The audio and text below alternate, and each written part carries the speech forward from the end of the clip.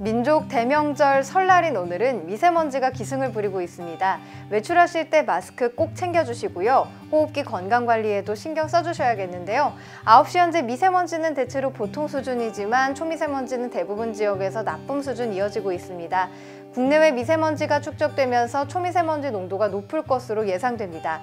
그럼 좀 더 자세한 시간대별 미세먼지 예보를 살펴보겠습니다.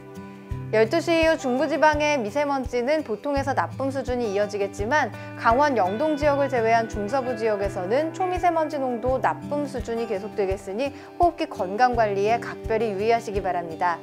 남부지방도 미세먼지는 대체로 보통 수준이 이어지겠지만 초미세먼지는 나쁨 수준까지 오르는 곳 많은 만큼 호흡기 청결에 신경 써주셔야겠습니다.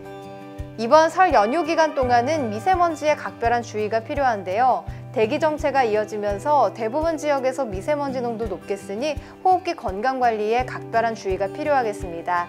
설 연휴가 끝난 뒤에는 대부분 지역에 비가 내리면서 미세먼지는 차츰 해소될 것으로 전망됩니다. 즐거운 설 명절인 만큼 즐겁고 알찬 연휴 보내시기 바랍니다. 지금까지 웨더뉴스 오늘의 미세먼지 예보였습니다.